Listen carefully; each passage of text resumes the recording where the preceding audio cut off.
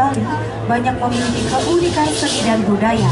Dengan spirit Karangasem Soul of Bali, berbagai ragam keunikan seni dan budaya Karangasem ditampilkan melalui garapan PNAY yang apik. Diawali barisan pembawa papan nama Kabupaten Karangasem dengan busana lelunakan, didampingi sepasang jedik bagus menggunakan busana payas agung khas Karangasem.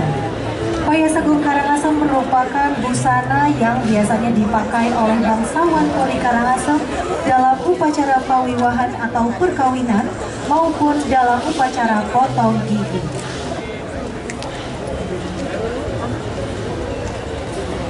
Dilanjutkan dengan barisan pembawa upar rengge yang terdiri dari bandrangan, tedung, gober, dan lelontek. Upar rengge ini biasanya digunakan dalam prosesi upacara melasti. Dan pada PNAY kali ini, upar rengge ditampilkan untuk menambah semarak PNAY Kabupaten Karangasem.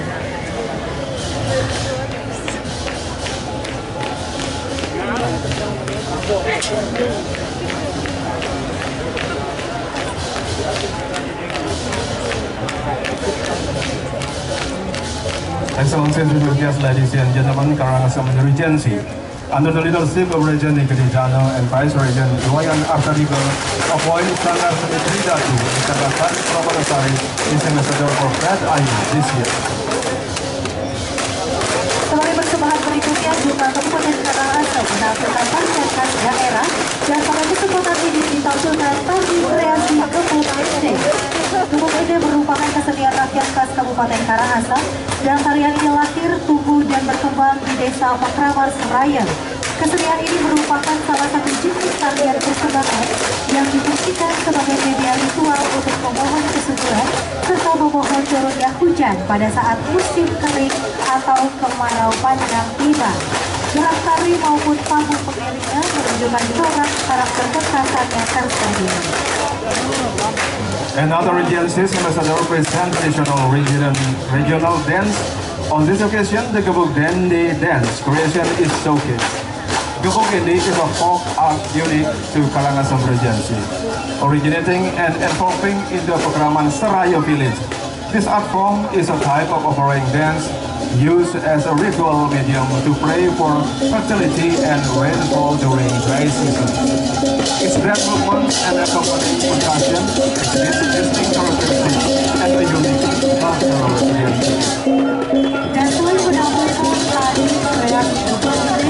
menampilkan Karangasem juga menampilkan berbagai macam tari rejang tradisi sebagai kesenian khas daerah. Beberapa di antaranya yakni rejang leluhur Desa Adat Basangalas, rejang Desa Adat Kecamatan Abang, rejang Desa Adat Tusuan Kecamatan Karangasem.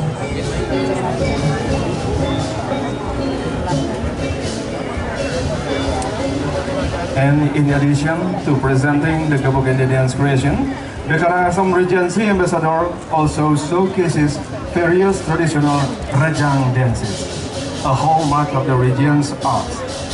Some of these include Rejang Telu Likur from the Basangalas customary village, Rejang from the Ngis customary village in Abang district, and also Rejang from the Susuan customary village in Karangasem district.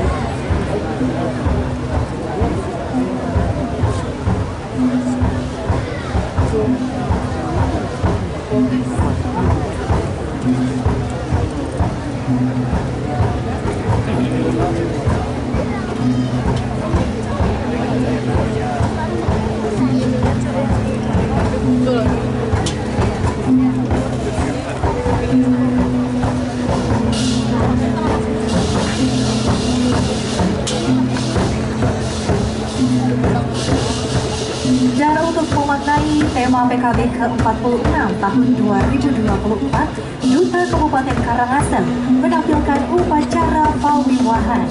Pada kesempatan ini, upacara pawiwahan yang ditampilkan yakni upacara pembuncingan Puri Agung Karangasem dengan kekasannya pada ritual bertempat sangkut.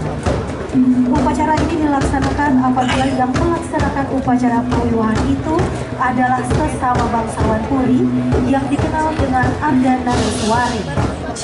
Rangkaian upacara diawali dengan peminangan, memandi, ngungkap lawang, dan metepak sangkut. Metepak sangku bermakna bahwa kedua mempelai sepakat menyatukan diri, menjalankan kehidupan rumah tangga, serta berharap agar dapat melahirkan generasi yang unggul.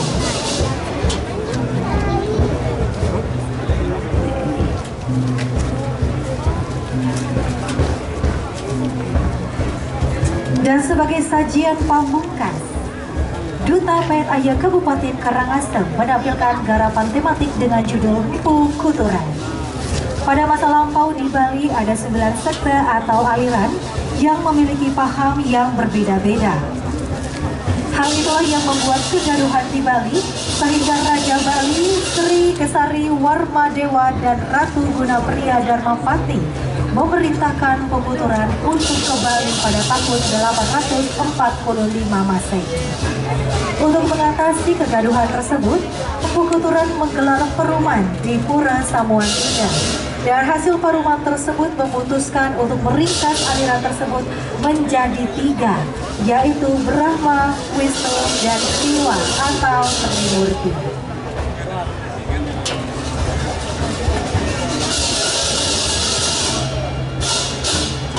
Excellencies, distinguished guests, ladies and gentlemen. For the last performance of the Karagansap Regency in this Perda year, present a thematic performance titled Mpu Kutura. In ancient times in Bali, there were nine sects or schools, each with different beliefs. This caused unrest in Bali, prompting King King Sri Kesari Warmadewa and Queen Guna Priya Dharmapatni to invite Mpu Kuturan to Bali in 1845 to resolve the unrest, Empu Kuturan convened a meeting at Pura Samuan Tiga. The outcome of the meeting summarized the sects into three, that is Brahma, Vishnu, and Shiva, and known as Trimurti.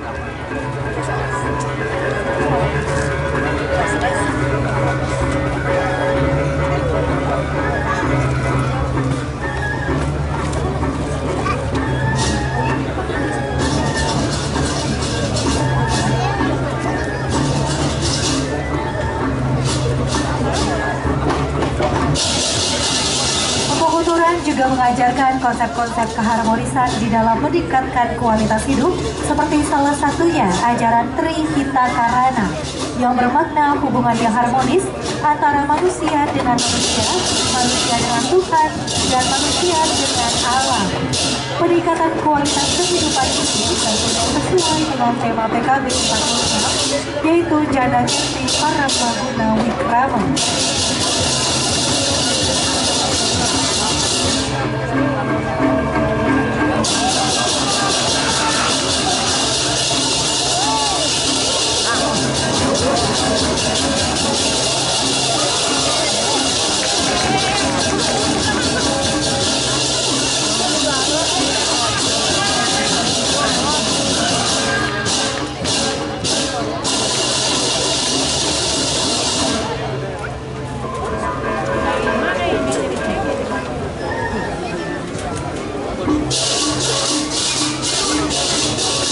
Ladies and gentlemen, saudara-saudara Karangasem Regency. Kabupaten